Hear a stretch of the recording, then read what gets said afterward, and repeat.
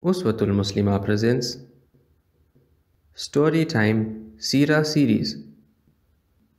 The Birth of Rasulullah Sallallahu Alaihi Wasallam Part 3 Bismillahir Rahim On the seventh day after Rasulullah Sallallahu Alaihi Wasallam was born, his grandfather Abdul Muttalib had his aqiqah. Aqiqah is where an animal, like the sheep or goat of Qurbani, is slaughtered on the seventh day after a child is born.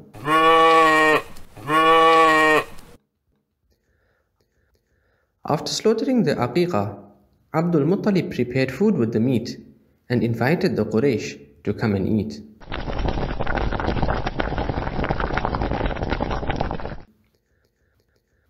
When they came, they asked him what name he had given to the newborn child. Abdul Muttalib told them that he had named the child Muhammad, the Quraysh were very surprised because this was a new name.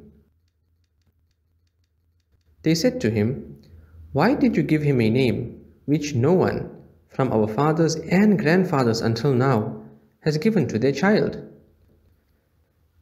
Since the name Muhammad means the one who is praised and about whom people speak good things, Abdul Muttalib said, I named him Muhammad so that Allah Ta'ala and all the creation will praise him and speak good about him one day.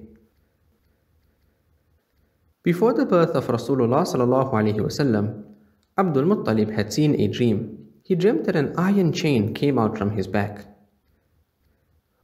One end of the chain was going towards the sky, another end of the chain was going towards the earth, another towards the west, and another towards the east.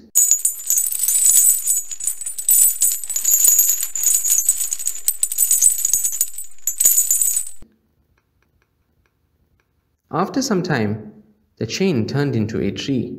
Every leaf of the tree was shining so brightly that it was even brighter than the sun. People from the east as well as the west were holding onto the branches of this tree.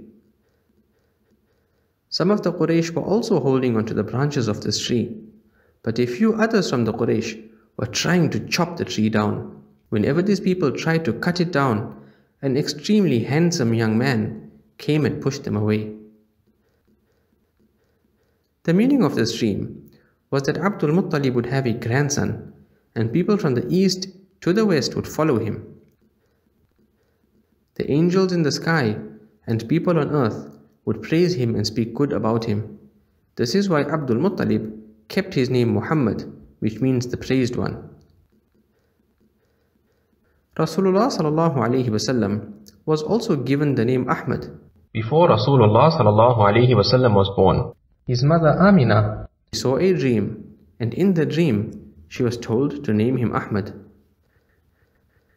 In the Quran Majid, Allah Ta'ala uses both names, Muhammad and Ahmad, for our beloved Rasulullah sallallahu alaihi wasallam. Rasulullah sallallahu alaihi wasallam also has many other names which explain his beautiful character and qualities.